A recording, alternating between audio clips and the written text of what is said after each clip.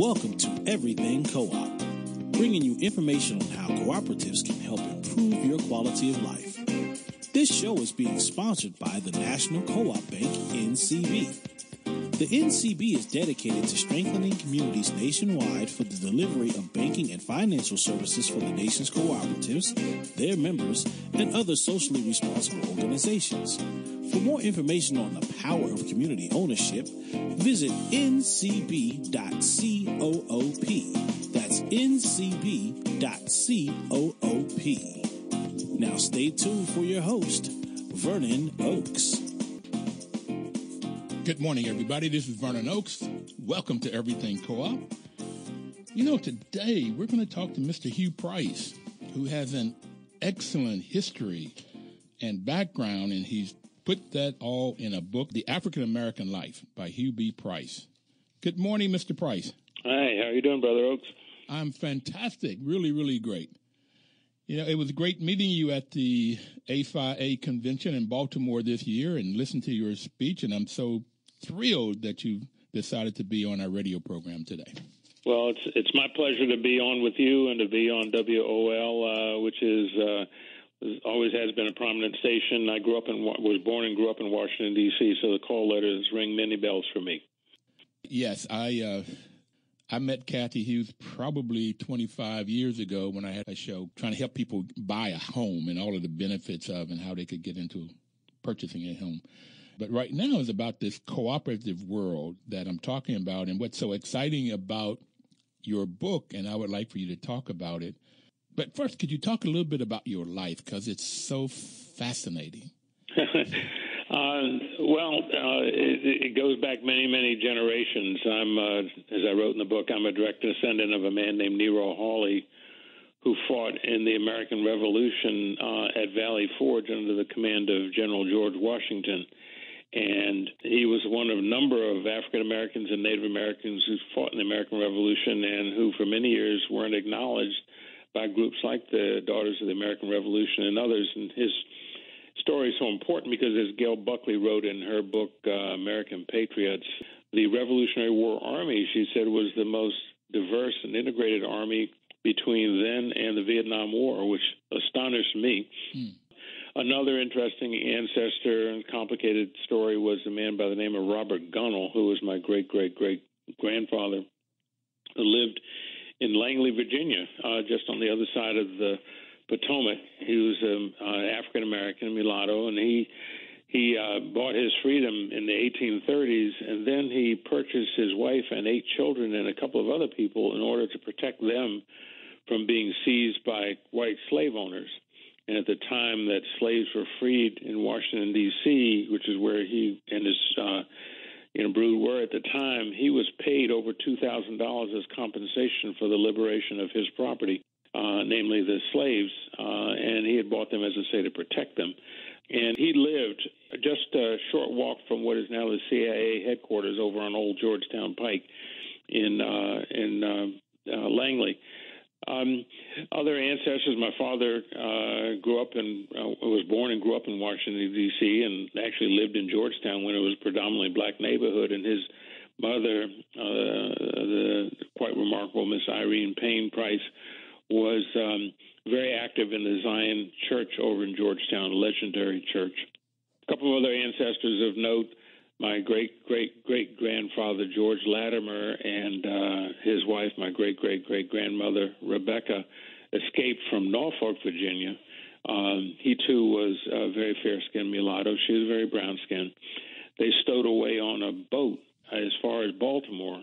Then, if you can believe this, they traveled as master and slave by train up to Philly and then traveled as husband and wife the rest of the way to Boston. What year was that? That was 1842 And his slave master got wind that he was up there and tried to recapture him. It became a very famous case with Frederick Douglass and William Lloyd Garrison and the other abolitionists up there. Prevented his recapture as one of the first fugitive slave cases to gain a lot of national attention. Hmm? I'd like Sorry. to just interrupt you real quick. Yeah. Fred, when you mentioned Frederick Douglass in the same kind of time frame, he stowed away and went to, to Europe as a right. slave.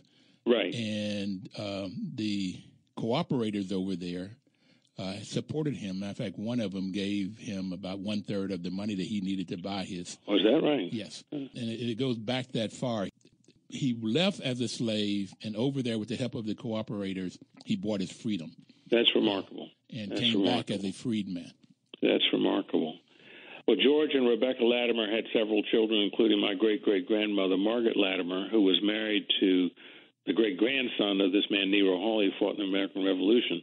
Her brother was a famous inventor by the name of Lewis Latimer, who became a famous inventor, who helped Alexander Graham Bell perfect the his application for the telephone patent so he could be first in line. And then he also worked with Thomas Edison and perfected the carbon filament in the light bulb that Edison had invented so that it would burn longer. And Lewis Latimer was one of the members of the charter members of the Edison Pioneers. So all of these ancestors are interesting in their own right, but they also the reason I wrote about them was because they tell a larger story, not unlike what you said about Frederick Douglass, which was the determination of our people to do whatever, stow away, do whatever in order to become free. And then Lewis Latimer showed all the amazing contributions that African Americans have made to the modernization of this country and all the conveniences that we take for granted. Um, our folks have been right in there Did you with know those about this? inventions, with those innovations. But did you know about this growing up? My mother talked about it a lot, but I was a knuckleheaded kid, so what did I care? You know? Like like me? Okay, all right. I'm, I, we lived right up the street from uh, Howard University, so I just wanted to go to baseball games at Griffith Stadium. I said, "You can tell me about this another time." And the funny thing is, on that point, I used to date a girl who lived in Brooklyn when I was in college, and I would drive up to see her, and I stayed uh, with my aunt Louise Latimer, who was Lewis Latimer's daughter, in their house, and I slept in his bedroom and in his bed. And she would say to me, "I want you to come to breakfast tomorrow, and I'm going to tell you all about your famous great uncle and your great great grandmother, and et cetera, et cetera." And I would say, Aunt Louise, I got to go to Brooklyn right now. So how do I get on the Brooklyn Queens Expressway? and where do I get off to go to Brooklyn? Hmm. That's what I need to know now. So I just miss that amazing opportunity to learn all about our ancestors. And it's something I tell young people all the time don't take this for granted. There's noble history in all of our lives. And, you know, find out what you can about your ancestors while you can. Ah, you have such a rich, rich, rich, rich history. I've I've just been learning about my ancestors, but there's nowhere like Lewis Latimer. I had read about him, but to get the connections of the dots of your family and what he was able to do. I grew up in Bluefield, West Virginia, and I went mm-hmm. to b- b- white schools. We integrated in 1955 in elementary school, so Right. all the way through. And so I hated history. I didn't care mm-hmm. for it, and I figured out later why. We were not in any of the books, That's right. Uh, That's right. Uh, and, and it was all about dates and names, and not about what you're talking about the the, philosophy behind it, the, the lessons learned. And you've got so much in this book. It's a wonderful read. Thank uh, you. This Well, my mother was a professional archivist, and she uh, worked at the Moorland Room at Howard University, so she knew what she was doing when she was tracking down this history. But I'd say, you know, not all of the ancestors were people who were really historically consequential. I mean, I had a, and my father's aunt lived in Charles County, just south of Washington, D.C., with her husband. He was a country preacher, and they were farmers. And I just used to think she was a country preacher's wife. And then when I was writing the book, I read up about her retirement ceremony. It turns out she'd been a school teacher in Charles County.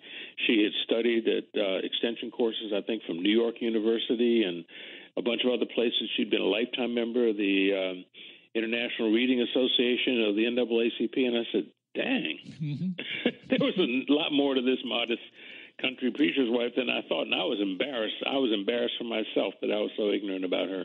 So that's, again, the point about young people tracking down this history because you never know what kind of nobility and struggle there is by people who were the building blocks of our community over the generations. Well, the other really nice thing is if you can learn this history younger, you really get appreciation for the history and what people have gone through, and therefore you study more. you you Well, yeah, and there, there are a lot more. It's almost like working a detective mystery because the more you learn, the more you unfold the story, you peel away the onions, and you learn just more and more. And there's so many more tools available now. I mean, you can go on to ancestry.com, and I found things that were written on Google about that ancestor Robert Gunnell by a direct descendant of his former slave master. And there it was on Google. I Googled his name, and all this stuff popped up about him. And the same thing is true of George Latimer. Absolutely fascinating. fascinating. So you didn't learn this at an early age, but how do you think this impacted your life? Because your life by itself is phenomenal. Um, I think probably contributed to the DNA package that I, I inherited, just all that striving and struggling. But in, in my my own life, when I was growing up, uh, my mother was very much an activist in Washington D.C. I mean, I, I, when I grew up in D.C., everything was segregated. The schools were segregated. The movie theaters, department stores, the whole thing. So Washington was a sleepy town down south. But my, my parents were neighbors of Charles Hamilton Houston, who you know led the fight to desegregate the schools until he passed the baton after after his after his death. The baton was passed to Thurgood Marshall. But we lived on New Hampshire Avenue and Park Road, and and uh, Charles Hamilton Houston lived right up the street from us. So I felt all that. My parents helped to finance the early school desegregation lawsuits that Houston brought. My mother was involved in efforts to improve the minimum wage through the League of Women Voters, and she was involved in progressive politics through the Americans for Democratic Action. So she was she was very much in all of the struggles to get the vote for Washington D.C. When I was growing up, we could not vote for president or anybody. So I, I felt all that. Then I, I came of age in uh, 19 when I graduated from high school in 1959 and 1963. I participated in the March on Washington as a marshal in that march, and the excitement and the vision and the hope embodied in that march reached me very powerfully. People just a year or two older than me were going on the freedom rides in the South, and people like you know Robert Moses and uh, Marian Wright Edelman down there registering voters, and so those young people, Julian Bond, those John Lewis, those folks were just a year or two ahead of me, so they were living legends of my generation. Then Kennedy talked a good good game, but Lyndon Johnson really got it done when he said that, um, you know, we're going to end poverty in our lifetimes. He said that not long after he took over as president. I believed him. He's he's the man. He can do it. And so that was, and then the cities were percolating in the north and the civil rights movement was very active in the South, and Martin Luther King was, you know, at the forefront there. So that was the environment in which I was raised, and I felt called to get involved both because of the genes I inherited, the example set by my mother particularly, and um, the environment into which I was uh, brought as as a very young adult. So the course was charted for me whether I wanted to do it or not. Well, that is fascinating. I graduated in, from high school in 65, so you had several years on me. But I remember watching all of that on TV. Listen, we got to take our first break, and then uh, we'll come back and talk more. Uh, if anybody out there would like to ask Mr. Hugh Price any questions, you can call in at 1 800 450 7876. 1 800 450 7876. Born and raised right here in Washington, D.C., in a fabulous life and a wonderful history. We'll be right back.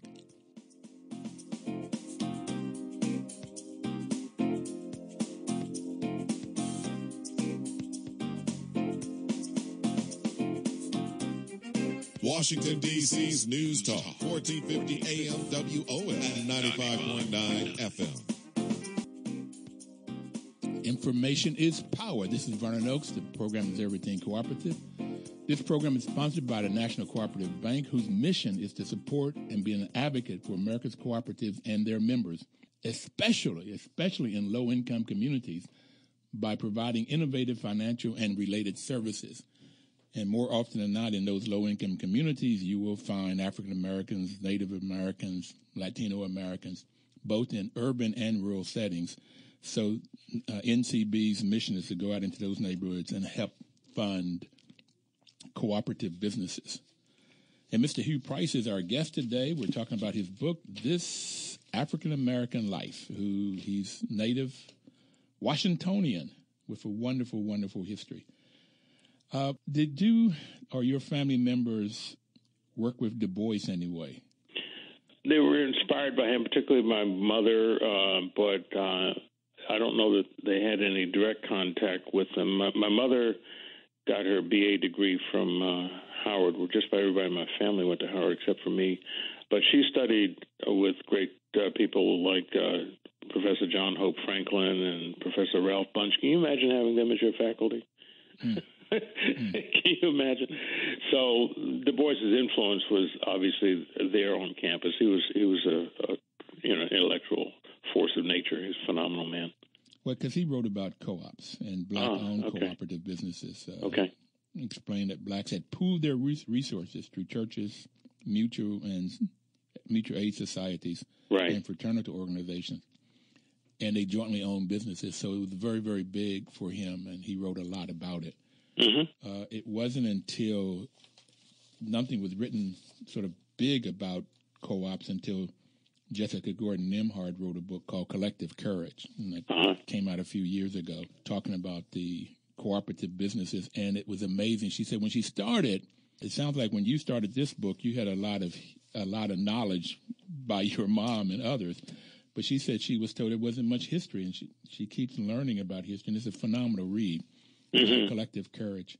Uh, you may want to take a look. It would be interesting to compare your book and time frame with what she has talked about, and some of that I want to talk about today, including. Well, I mean, as you as you know, and as we've discussed, I when I was teaching at the Woodrow Wilson School at Princeton, I taught a course on cooperatives. Uh, a lot of my graduate students were very interested, and so I I hadn't known much about the movement before then. I knew there was cooperative housing, and I knew there were dairy cooperatives, but I, it really expanded my horizons, and they run the gamut from. Um, you know, home health care cooperatives like they have in uh, New York, particularly I think based in the Bronx, several thousand home health care workers own a cooperative business, all the way to uh, there's a company called Mondragon in the Basque country of Spain, which I think is the 10th largest industrial conglomerate. And it's a cooperative uh, in all of Spain. They make they make dishwashers. they make they make almost everything. Everything. They have a bank, a school, and it was always interesting that co-ops grew up when nobody else would come. The capitalistic right. models would not come in to. Well, that's you know the, the, the growth of the community development corporations in this country is a, is very similar. When um, you know things became pretty dicey in cities and there were a lot of disturbances and traditional businesses pulled out, it was the community development corporations that stepped into the breach and brought a combination of uh, uh, government financing, foundation financing, and then eventually uh, private financing to help spur the revitalization of uh, neighborhoods. But if you look at a lot of neighborhoods that have come back from the abyss, you'd find that community development corporations, community controlled development corporations, have been the real catalyst for change. Right, absolutely. Let me quickly, for everybody out there, give you a a quick definition of co-ops because so, you mentioned several of them, but there's a there are if it's owned and controlled by the employees, it's called a worker cooperative. And so any business you can think of could be owned and controlled by the employees. If it's owned and controlled by the people that uses the products or services, uh, it's called a consumer cooperative, and that's credit unions and housing co-ops, which you mentioned. That worker cooperative in New York, that home health care cooperative, over 2,000 home health care folks. Then the, on the other two side, the two major types of co-ops before I go there, food co-ops could either be owned by the workers or owned by the consumers. Now you have farmers and artists are going into buying uh, purchasing co-ops. So they come together and they may buy their seed or the fertilizers or they may buy a tractor together and use it. So they, they pool their resources to get what they need. And then on the other side, they have marketing co-ops. And a lot of those are dairies, cooperatives. Uh, Cabot Cheese is one or Cabot Creamery. I think Land O'Lakes is one too. Land O'Lakes is another one. Yeah, right. So, yeah, inter, I mean, internationally renowned brand names actually are cooperatives. They're sort of, yeah, they're producer cooperatives. Right. In effect, yeah. And so you, you, you have all of these co-ops, and most people don't know about them. We had a meeting at the White House, 2012. The United Nations declared co-ops as 2012 as the year of the cooperatives, mm-hmm. and um, one of the high up in Obama's administration, we, one guy asked everybody, "Do you know about co-ops or do you belong to one?" And one guy said no, and said, "Well, do you belong to a credit union?" He said, "Yes." okay, so most people don't even know the names right, of co-ops. Right, right. Um, there is a there is a consumer cooperative in Madison, Wisconsin. It's a, a health clinic. It's owned by the patients, mm-hmm. so it's a patient centric cooperative. Um, so a lot of a lot of good benefits, a lot of good benefits for for co-ops. So let's go back to to your book. What prompted you to write this book? I wanted to. My mother had done all that family research, and I had been fortunate enough to have uh, an interesting and unorthodox professional career. And you know, I was raised under circumstances uh, in segregated Washington. A lot of people, younger generations, don't realize. So there are these three pieces of the story that, frankly, I wanted to set down in a book for my children, my nieces and nephews, their children and nieces and nephews, and anybody else who might be interested. Anybody else would be sort of frosting on the cake for me. I wanted to put it in print for for our family so that they wouldn't have to scramble around to figure it out the way I did. I started working on it in 2003, and I had a book agent, and she talked to some publishers, and they wanted me. The publisher said, "Why don't you write a book about what it was like to deal with President Bill Clinton?" And I said, "That's not the book I'm interested in doing." And so I stopped working on it in 2003. I probably wrote about two thirds of it back then, and I it sat in my laptop for 13 or 14 years mm. until 2015 when I said, Well, I know how to self publish a book. Let me start to work on this again. And come hell or high water, I'm going to publish this even if I have to pay to self publish it. But let me shop around and see if I can find a publisher who would do it. And uh, wonderful outfit named John F. Blair in North Carolina got very interested. And so I finished it up, and it came out in May of this year. So it was a it was a long journey, but I was fortunate because my mother had done all that ancestral research. Ernest, she left me boxes with folders, with everything in the folders, and with typed labels. Oh my goodness! so I didn't have to go rummaging around all over the place to figure this out. She had, she and her sister had done all that background work, and she had the skills to do it. So I just basically committed the story she had told me and the research that she had done to the first part of the book, and then based on my own recollections, my conversations with my, my brother, et cetera, um, I took it forward from my life in Washington, D.C., and then out uh, into my professional career. So, where can somebody get this book?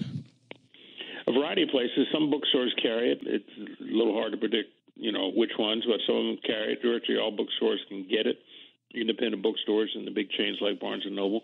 You can also, uh, you know, get it on Amazon or get uh, get it through the Barnes and Noble website and some other websites, probably Walmart's uh, website. So it's it's widely available in hard copy, also available as a, a, digital and downloadable edition. And so if you can't find it through the bookstore, or don't want to order it through a bookstore, you can get it uh, online. This African American Life by Hugh Price it's a wonderful read. I think you really, really enjoy it. And I'm not a reader. Um, I grew up in math, and they said, "Why did you go math?" They thought I was smart, and I said, "No, because I couldn't read or write." so that was all that was left, which was quite interesting. I found out some of the reasons why as I as I've continued to study. Well, you were an early expert in STEM education, right? Really was. I uh, started teaching in 1969 Mm-hmm. Really, to keep from going to Vietnam, my parents, my father and grandfather, World War Two and World War One, respectively, they didn't understand that war, and they said, you know, three there was three of us, um, they they couldn't sort of support us going there, mm-hmm. and so I taught and found out I, my mother taught. Um, she went back to school. And matter of fact, she grew up in D.C. from three months old to sixteen, mm. and then they moved to New York. My father and mother met in World War II in New York and he was from West Virginia, so he took her back home. I said that was the best thing, the smartest thing he did in his life. Anyway, okay. So, you know, growing up in Bluefield, West Virginia, there was just not a lot of this kind of history. Just mm-hmm. not a lot of it at all. I admire, I would love to have grown up.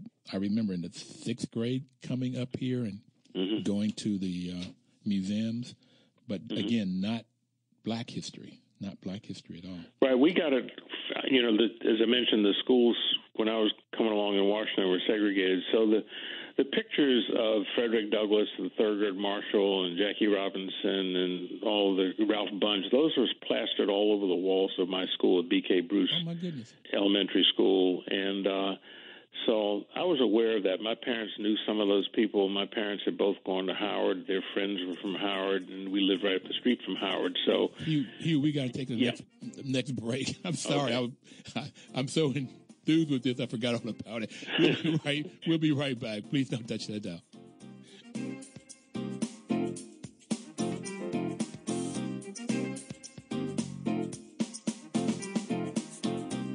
Washington, D.C.'s News Talk, 1450 AM WOL and 95.9 FM.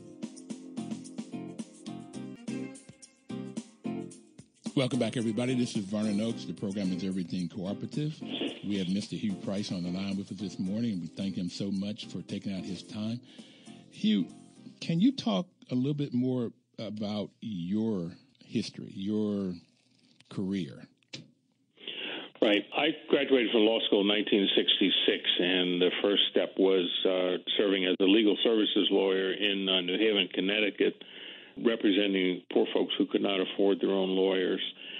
Not long after I started that career, you know, there were a lot of riots around the country, and New Haven erupted in 1967, and I was hired by a new group called the Black Coalition of New Haven. It was an amalgam of groups like the NAACP and the Urban League and the Nation of Islam and community groups and stuff to try to help put the pieces of the city back together again to build, rebuild the spirit of our community, rebuild the bridges uh, between our communities. So I did that for a couple of years. It was a fascinating right to to be right in the center of the community organizing action at that stage and to help repair the city.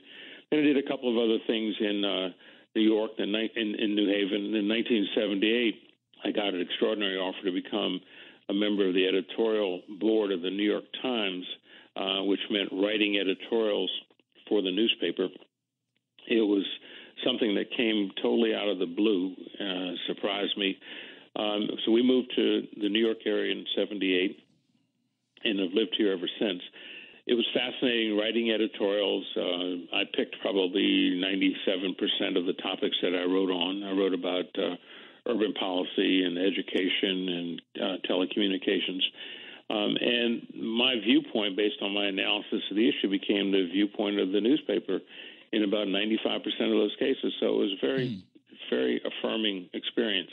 In 1982, uh, I was recruited to go into public television uh, Channel 13 in New York, WNET, which is the largest public television station in the country. I initially ran the local station that you would watch, which would be the local programming, local fundraising, and everything. And then in mid 1984, I was appointed head of the National Production Division, which means I ran the division that produces great performances in Nature and American Masters and Art of the Western World and The Mind and all of those great series that Channel 13 made, and we were co-producers of the MacNeil Lehrer NewsHour. Um, I did that for about four and a half years.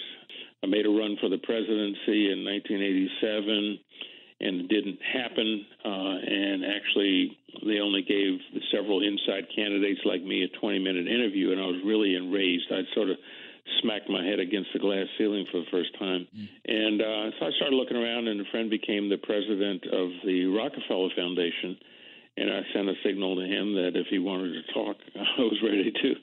So he, he brought me over as uh, vice president of the Rockefeller Foundation, where I oversaw our grant making and education and equal opportunity. Did that for six years, was having a great time, and then the opportunity to compete for the job of a lifetime materialized when I was recruited for the presidency of the National Urban League in wow. 1994. Yeah.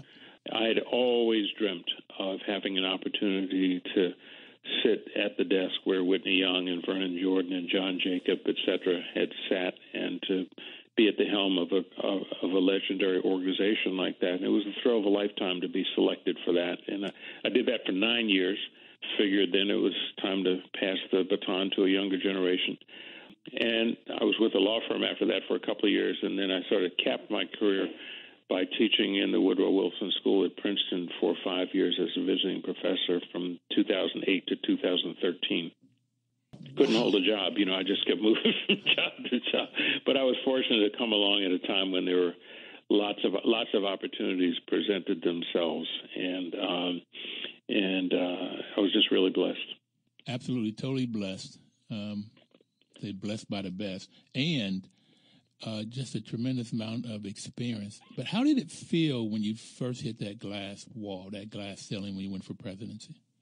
I was I was crushed. I figured, you know, I'd gone to a very fine college and a very fine law school, so I had the paper credentials. I thought I'd done a good job running the Metropolitan Division, which was about a third of the station. I'd run the the big production engine, the highest profile part of the station, so I figured I had the experience and all the credentials, and it didn't matter. Right. I wasn't chosen, so I was in. I didn't go into depression, but I certainly was in a funk for about five or six months. And if we had been wealthy, I'd have quit.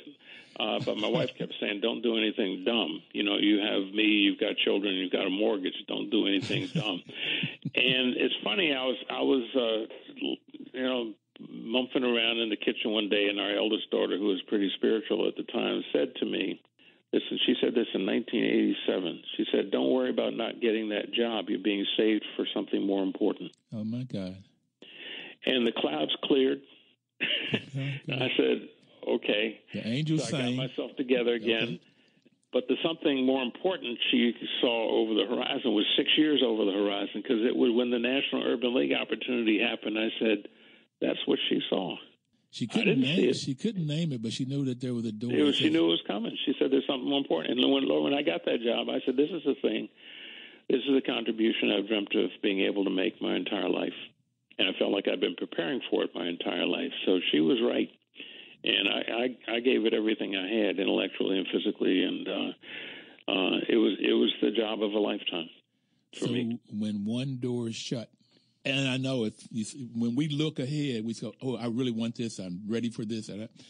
But that door is shut. Do you think it was because of your blackness? Um, it may have been. There was another uh, black candidate, a good friend by the name of George Miles, who went on to head the uh, public television station in Pittsburgh and was responsible for bringing all that wonderful soul and R&B concerts to public television. That was his idea but there were two other candidates. So it, it, it may have been the station may not have been ready for that, but also the station did go into commercial television to make a hire. So they may just have felt that they wanted to go with an experienced hand in commercial television. You know, when the door shut, I didn't I didn't try to go dissect what happened. I just said, "Damn, mm-hmm. okay." You all you all told me something. I didn't want to stick around because I figured that if I couldn't be in the engine driving the train through all the change that was beginning to happen in public television and to public television with the advent of cable and all that, I didn't want to be in the caboose getting whipsawed by by all the change. So right. it was just time to move. And frankly, you know, public television had been a fascinating detour for me professionally, given all the other work that it focused on opportunity and in developing our young people and education, et cetera. So I felt like it was time to get back to the knitting. And the foundation opportunity, giving away other people's money, was was a lot of fun and very creative. And then, as I say, the job that I have dreamt of my entire life um, materialized in 1994. And so I said, okay, I'm, I'm, I'm prepared. I'm eager when I went through the interview, I didn't even ask how much money do they pay. Right. Okay. It took me 45 seconds in the interview. They said, if you are asked to do this, will you do it? And I said, I'm good to go. I told my wife later, she said, don't you want to think about it? I said, I know my head, my heart, and my gut are all in alignment. So let's go. Amen. Let's right. do it. All right. Did you have the opportunity of working with or meeting Thurgood Marshall? No, he was a legend from afar. Um, I mean, I, I followed his work, obviously benefited from his work, and I've used the phrase. I'm, I'm involved with a nonprofit uh, cinema, art house cinema called the Jacob Burns Film Center in uh, Westchester County. I've just been asked to moderate the discussion following the screening of the new movie about him called Marshall and uh, his son John Marshall is going to be there. So Thurgood, for me, of my generation, was one of the figures on Black folks' Mount Rushmore. You know, he was up there with Martin and with uh, Frederick Douglass and uh, Sojourner Truth and all of those folks. So he, he, he was a legend, but I, I never met him. He was older than, you know, a good deal older than me. But uh, I don't know whether my parents knew him. They say they knew his mentor, Charles Hamilton Houston. But I, I didn't have any interaction with him. The reason I bring him up is because he has a history in cooperatives. Uh, oh, is that right? I didn't know that. Wouldn't surprise me, but I didn't know that. Uh, he lived in a co-op called the Dunbar. Okay. And um, it was named after Paul Laurence Dunbar, and the uh-huh. Rockefellers built it in 1928. Right. Um, so, and he, he also, with his first wife who passed, right, but he, he delivered groceries in a grocery in a food co-op. Oh, is that right? Yeah. Okay. it's kind of like he, you don't think of early on people like him not having any money, right? but, uh, he, most of us don't have any money. That's the story of our existence. Not many of us are born in the penthouse, you know. Yeah, there was a, uh, a nice piece uh, comparing it was Obama with Mitt Romney and one other guy, and looking at the yeah. houses they grew up in. Yeah, and then they say they made it on them, their own. Uh, yeah, even the so, current president you know, the view, his view is he made it on his own, but not right. looking at how much money his father gave him and how many times yeah. he bailed him yeah. out. Yeah. Uh, yeah. No, no, we didn't. We didn't come that way. No, no, that was a path we didn't tread. That's for sure. Young people, I know you've written a couple books for young folks. Uh, what, what do you tell them now? Well, uh, uh, several things. One is having grown up in Washington with so many parents and in laws and family friends who are products of Howard and products of Dunbar High School in Washington. I tell them we need to know which end is up and which is the way forward, and it's through education. And when I was coming along, yes, there was segregation right in our faces, sanctioned by the law, but my parents and their friends always said, don't internalize that obstacle. It's an obstacle to be overcome, whether you go through it, around it, over top of it, or underneath it. But look at the other side and figure out how you're going to get through this obstacle and don't let it you psychologically. So I try to tell them that. And the way to go forward is becoming prepared, becoming an educated person prepared for citizenship. Second thing, you got to you got to have some drive and some ambition, and I, you also got to understand that you don't get anywhere by yourself and there are prior generations that built the steps that you that you climb and therefore you've got to build more steps from your way forward and you've also got to reach out and help others so whether you make a career of service whether it's in education or community development or whether you make a career in the traditional private sector practicing law or working for a company or whether you're an entrepreneur in addition to what you do on your own account for your own benefit you want to tithe with your time or tithe with your money in order to help the next generation move forward. And that's something that we, as members of the village, have an obligation to do. And the reality is that far too many of our young people are struggling with inadequate support, inadequate education, etc., inadequate mentoring. And so, whatever course young people pick as adults for their own careers, they want to give back and reach out as they uh, commence that journey.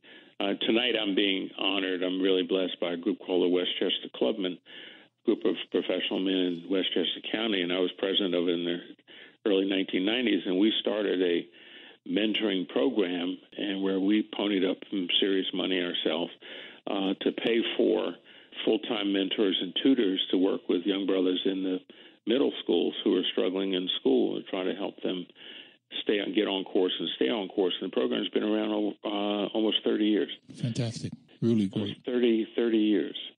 Uh, and it's been quite successful. So it's something that everybody can do. And I just tell folks, you know, when you, if you're an older person and you're done sending your kids through college, you know, we kind of OD on the tuition we don't have to pay, and we don't need to get the eighty thousand dollar car, we can get the seventy five thousand dollar car and give some of that difference, or we can get the thirty five thousand dollar car instead of the thirty thousand dollar car and give some of that back to the organizations that are trying to bring uh, the next generation of young people along who really need support. All right, we got a f- final break coming up right now. We'll be right back.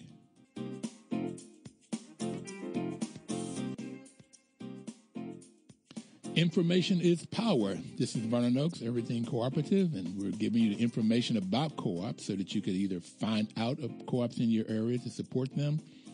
Normally, co-ops are developed to solve a community problem. A group of people come together and create a business to solve a problem, and normally you get a better product, as good as, uh, not better product than what others will give you, at a competitive, if not lower price. So you can look for co-ops in your area or look to form your own. And Mr. Hugh Price is our guest today. Um, it was great listening to you talking about what to tell young people. One of the things I try to tell people about this co-op model when you start talking about how to get a job or start entrepreneur, one way is pulling together resources, whether that's money or talent or skills. And here, what the research says, and I talked about Dr. Jessica Gordon Nembhard, who wrote this book, is that uh, 90% of co-ops, worker owned or others, are still in existence after five years. Where Hmm. only 20 or 30% of the uh, capitalistic model businesses are still around. It's fascinating. I didn't know that.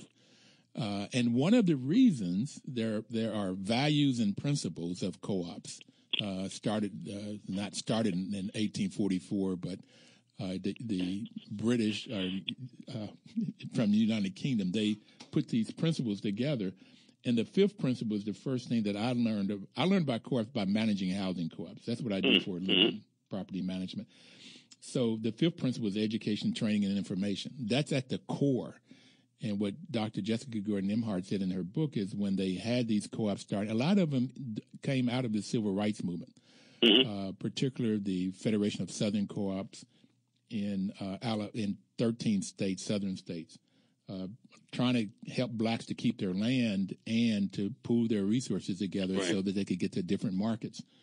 Uh, but this education, training, and information is at the core. And she said that what people, when they started having trouble, they would go back to their uh, education bees. They're having, you know, to study. Uh, and I've seen old, uh, seniors in a housing co-op who may have a high school education really run their business extremely well, Mm-hmm. extremely well, because they hold each other accountable. They learn Right. which way is up. The shareholder's right there in the face, right? It's your it's it's your next door neighbor. yes, yes. Uh, and then there's the values. Uh, co-ops are based on values of self-help, not looking for somebody else to help, but self-help, self-responsibility, democracy, equality, equity, and solidarity. And in the tradition of the founders of cooperative, cooperative members believe in the ethical values of honesty, openness, social responsibility, and caring for others, caring for one another. And that's the other reason I like co-ops is that you you look at people and you're in the meetings with them, and they make the they make decisions based on what's best for the group, mm-hmm. not what's best for me or best for my friend or best. And when pe- when you find co-ops that are people are doing that, they may get into government uh, like presidents of co-ops.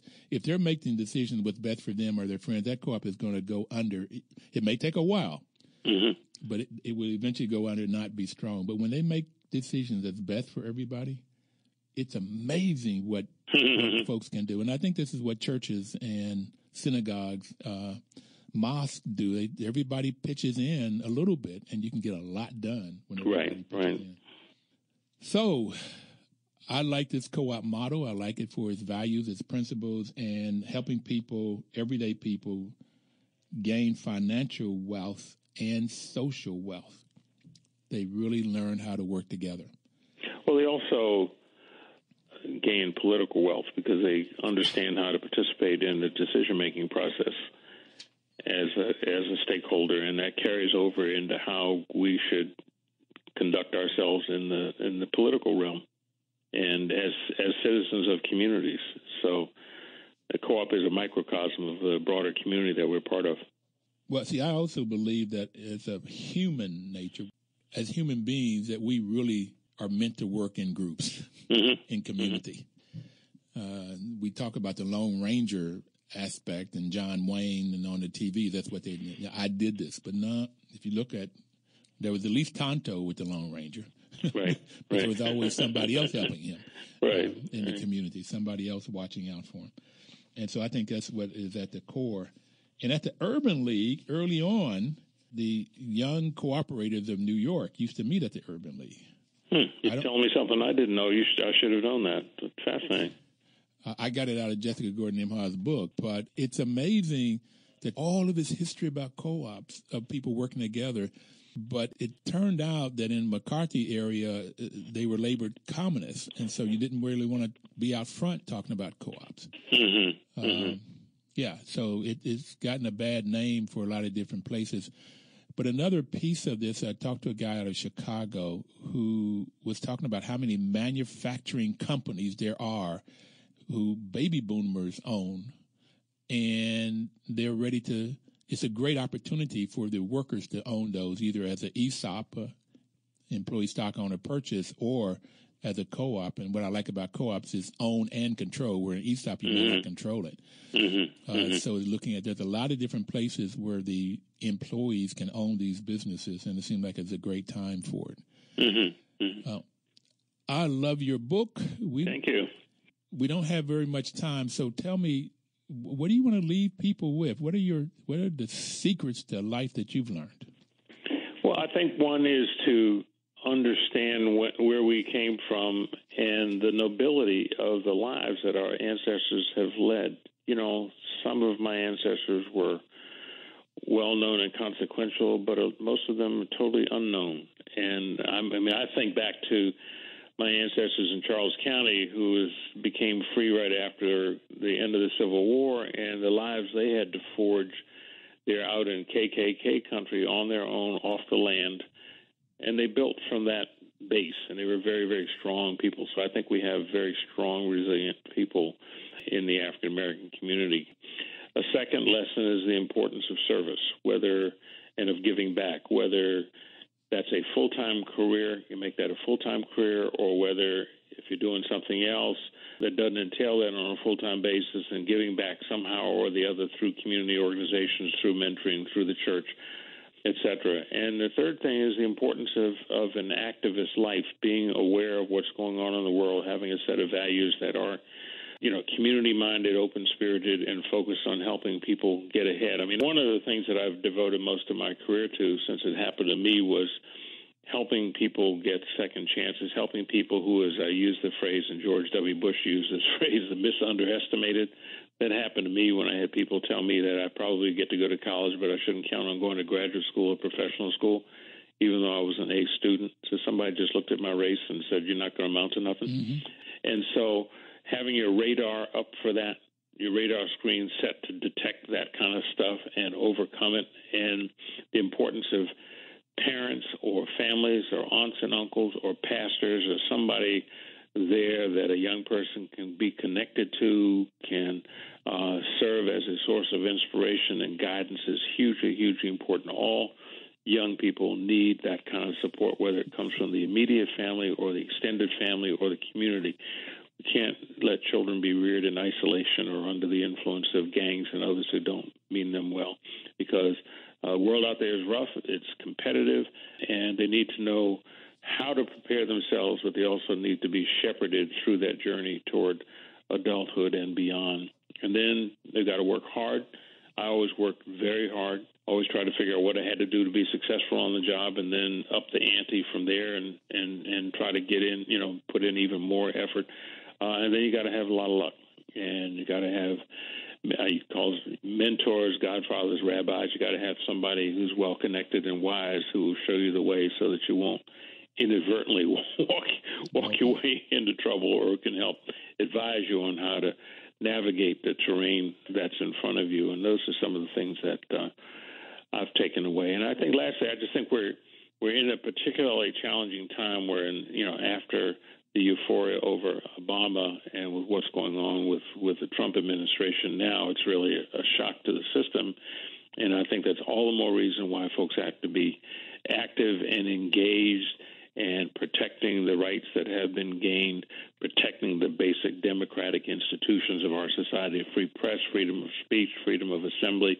Uh, those are all on the line now. And uh, got to stand strong for all of those core values of, uh, of being an American citizen, and we've got to try for all of our struggles over individual issues to reconnect as Americans. Uh, we this great experiment called America, which is the most remarkable experiment of any society on earth, in my view, mm-hmm. doesn't come unglued because we allow ourselves to drift apart and and lose sight of the common conditions that that we all operate under. I mean, one of the fascinating things when you analyze, well, folks say, well, you know, people lost sight of what happened with uh, working class and low income whites and working class and low income blacks. The economic conditions that explain why people are struggling are similar across racial lines. Yeah. It's astonishing.